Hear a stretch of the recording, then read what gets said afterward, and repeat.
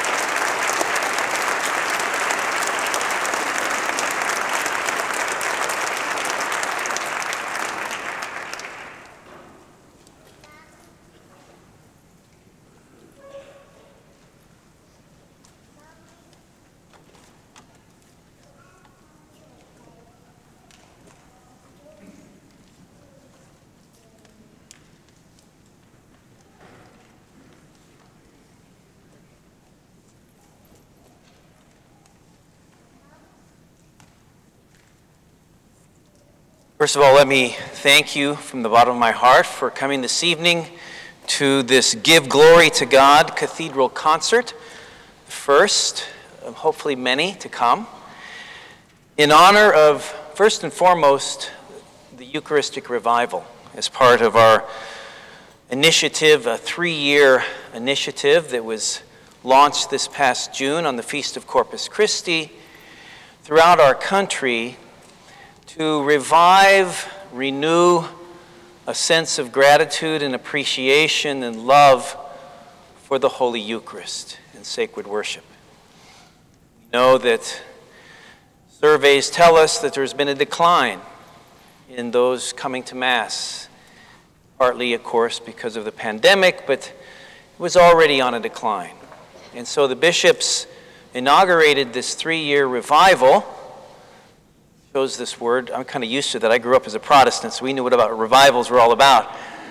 But revival in the sense of revivifying, you might say, our love for the Holy Eucharist and to rekindle an appreciation for the source and summit of our Catholic faith. And secondly, I want to thank you on a personal note uh, for helping me mark uh, this 10th anniversary of my installation as the ninth bishop of the Diocese of Lincoln. Um, it doesn't seem like it's been 10 years that I was here in this cathedral. And I remember my mother was still alive at the time, and she brought up the gifts, and it was just such a beautiful day. It was that year, the 20th fell on the Tuesday before Thanksgiving, and it was, believe it or not, 75 degrees that day. If you were here, you remember that.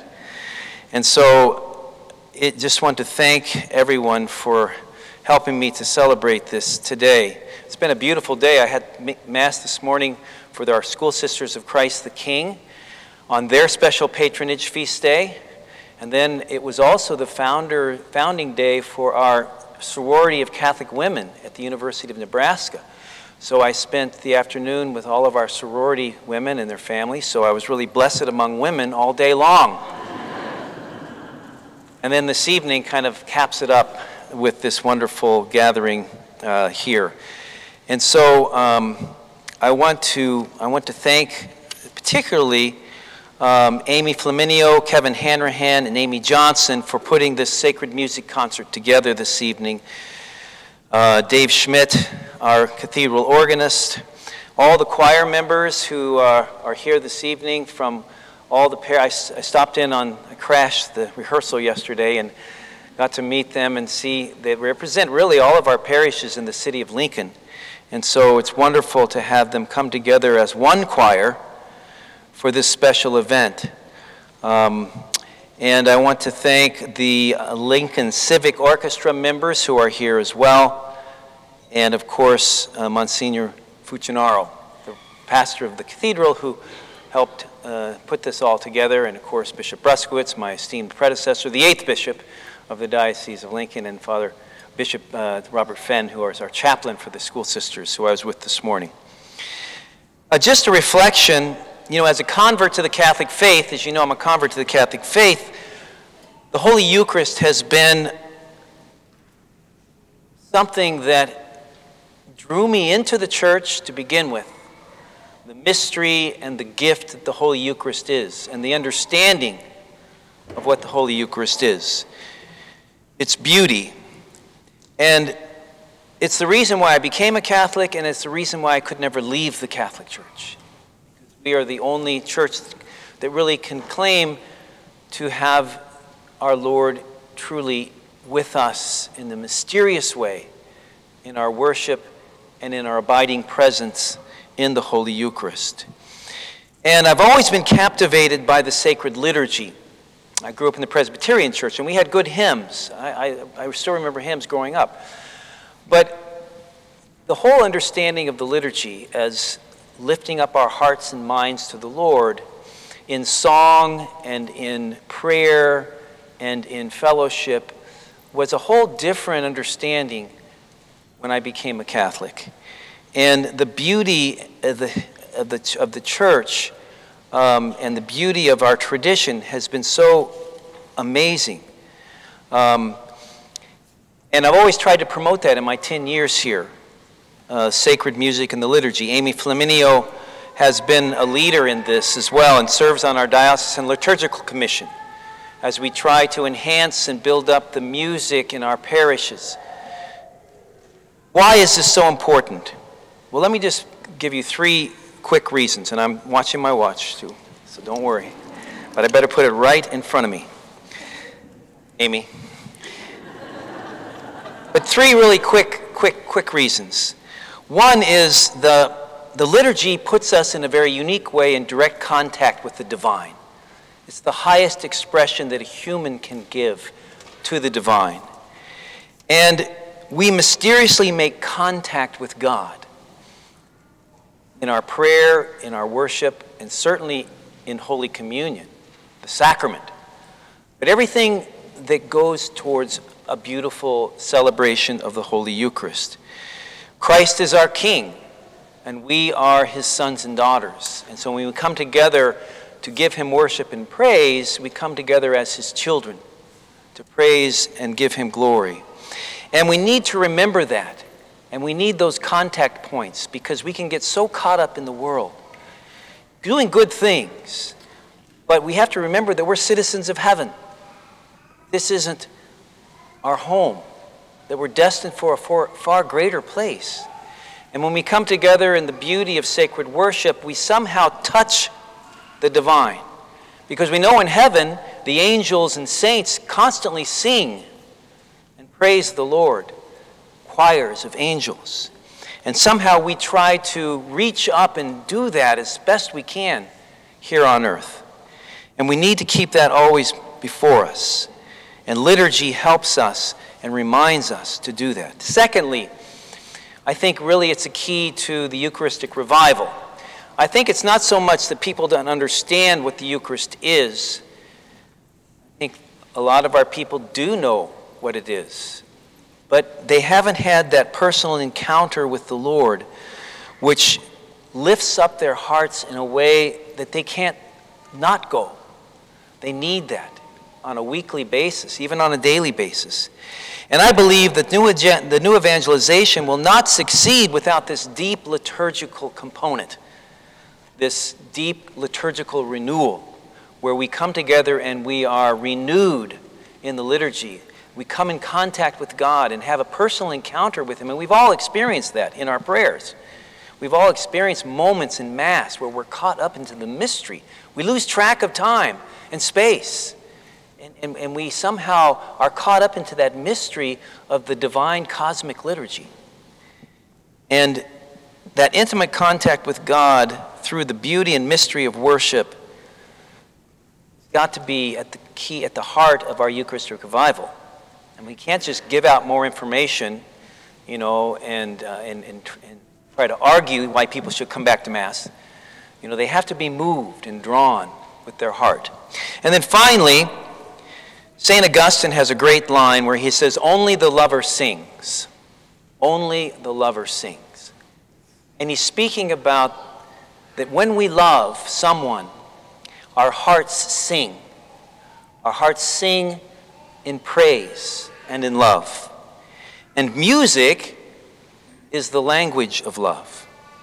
All the composers tonight that we're listening to were inspired by their faith who loved God and whose hearts were lifted up to compose these great hymns of praise that have endured down through the centuries. The last one we just heard, the Ave, uh, Ave Vera Corpus, um, Ave Verum Corpus, which was a 14th century Eucharistic hymn. And it's been put together, put in different kinds of uh, formats down through the centuries. The Gloria, which will follow by Vivaldi, who was a priest himself um, has contributed so much to the beauty of music. Mozart, Palestrina, all of these great composers were inspired by faith. And that's also true for the greatest poetry and art and sculpture and architecture. All the greatest artists were inspired because their hearts sang to the Lord and wanted to give him glory through their creativeness. Only the lover sings. If we truly love God, we can't help but sing. sing to Him, and give Him glory. So, thank you for coming. Thank you for your prayers for me over these past 10 years. I've really needed them and counted upon them in good times and in bad. And, uh, and I'm looking forward to the next 10 years, if God gives me that many years, and the Pope. Uh, and, uh, and I count on your prayers uh, going forward. And I promise you to keep you in my prayers as I do every day at the Mass. Thank you.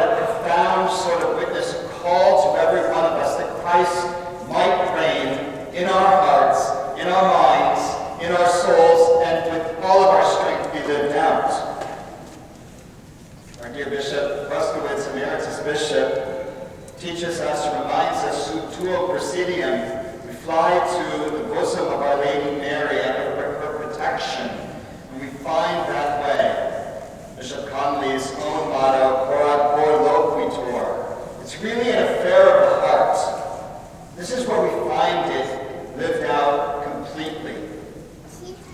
There's an intellectual ascent, of course but it must be perfected by a heart on fire with love for Christ.